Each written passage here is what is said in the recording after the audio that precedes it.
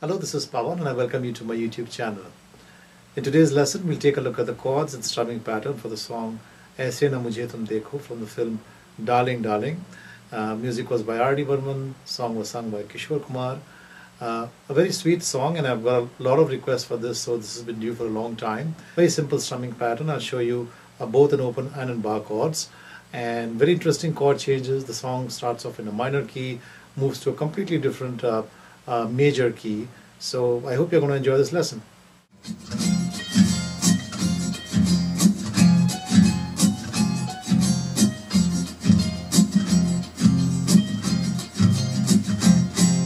ऐसे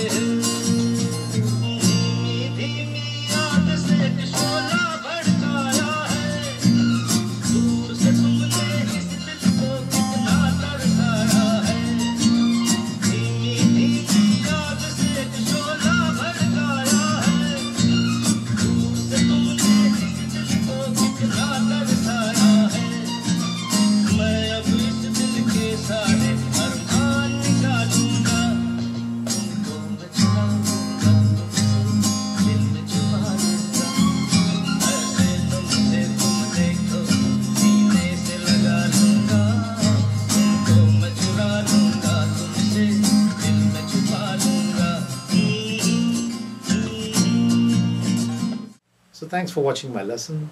As always, do get back to me with your questions and comments and requests for more videos. I'll try my best to do them as soon as I can. Thanks and see you again soon.